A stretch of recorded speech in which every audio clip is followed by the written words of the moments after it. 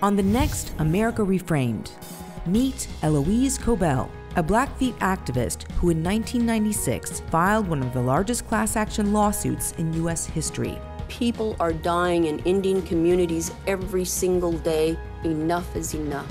She fought for more than a decade through three presidential administrations. This is our money, and this is our land.